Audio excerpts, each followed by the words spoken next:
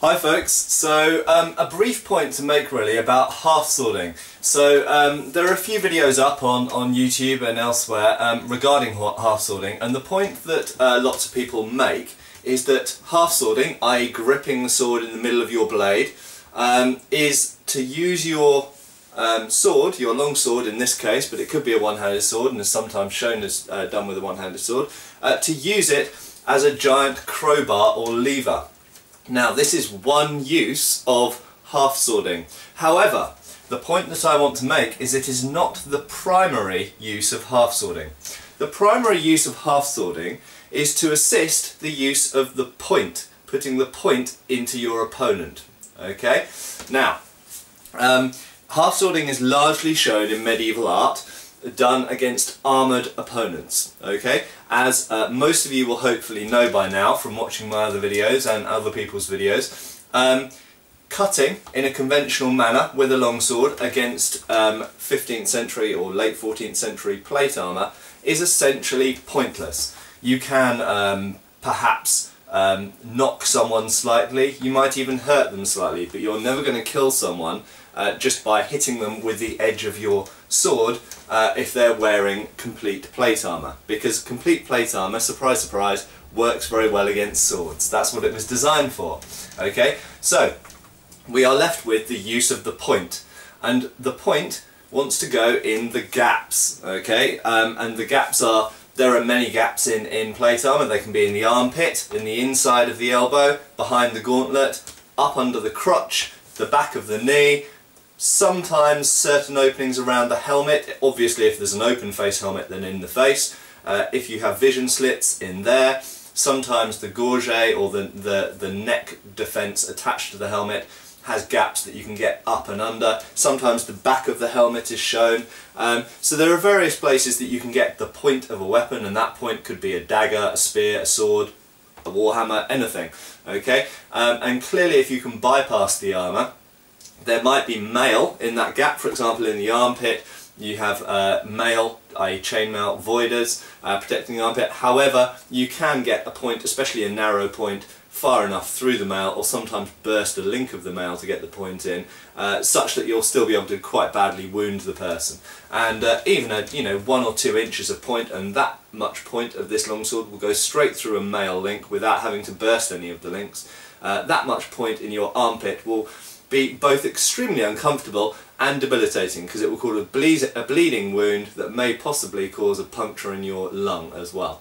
Okay, so um, getting points into gaps is really the main purpose of half swording okay? Now why would you half sword to get the point in? Well admittedly you can get the point uh, into gaps fighting in armour when using the sword conventionally uh, holding it by the back end okay? And this is shown in art and it is shown in fencing treatises. Okay?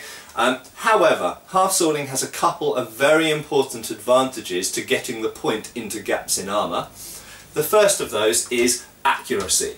When you hold your sword halfway up the blade you've now got your hands further apart i.e. you've got more leverage more strength behind the weapon to resist and so on uh, but also you can be a lot more accurate with the point and your point is less likely to be diverted or pushed aside uh, by either accidentally or by deliberately the other person pushing or parrying the point aside. You can get the point very accurately into small holes. Um, with full complete plate armour we are talking about small gaps and small holes between plates. Okay.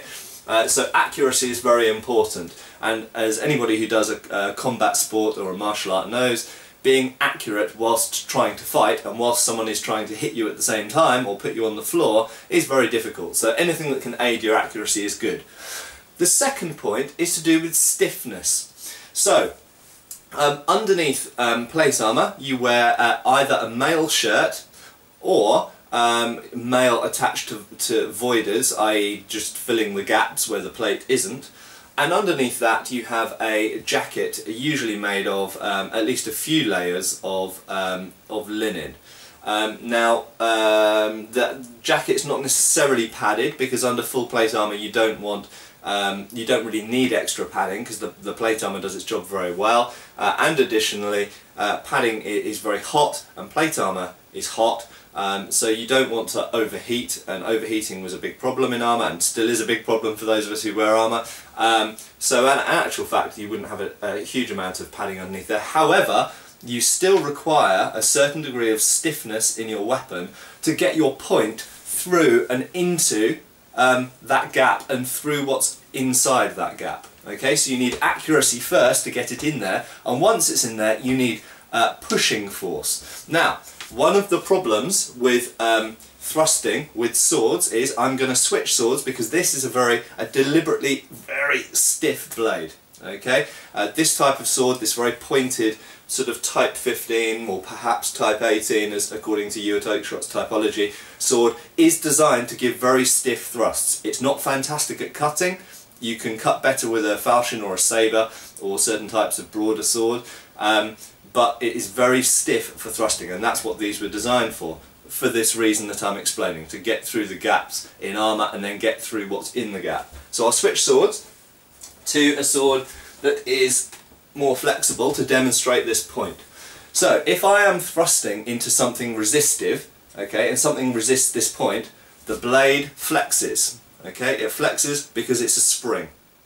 Now if we think that all of the force is contacting with a point here and the whole blade flexes, all of that force is now going sideways and not going through the target, which is what I want it to do. And in actual fact, in the 19th century, there were problems where people wore uh, thick military jackets and sometimes greatcoats over them, and there are accounts of uh, blades not being able to penetrate through the padded clothing simply because of the resistance of it and the blade flexing. Okay, so they tried to make the blade stiffer. So, a way of making your blade stiffer in real terms is to hold it in the middle, okay? Because what you've done now is you've taken this length of steel, okay, that is this, uh, the ratio of the width according to the length, and you're now uh, essentially doubling the thickness of the blade by holding it here, because now the only part of the blade you have to worry about flexing is in front of your hand, okay? Because the part between your hands is going to stay rigid. So, I hope I've explained that clearly enough. The, um, so the two reasons really for um, thrusting in half sword are for accuracy and for stiffness, i.e. penetrating power. Um, and I want to reiterate again that whilst half swording, and I'll switch back to the long sword, whilst half swording um, you do use it for close-in grappling techniques and it is shown in lots of uh, treatises and lots of art being used like this using both the, the guard and the pommel and the hilt and the different parts of the blade you're now, now holding using it like a mini pole weapon. However, the vast majority of medieval art that shows half swording shows it being used to apply the point and in my opinion, and I think all of the evidence supports this, the primary reason for half swording is to apply the point both more accurately and with greater penetrative force. It is not primarily to use as a grappling lever device, that is the secondary purpose of half swording. Okay, the primary purpose is to turn your sword into a short spear. Thank you.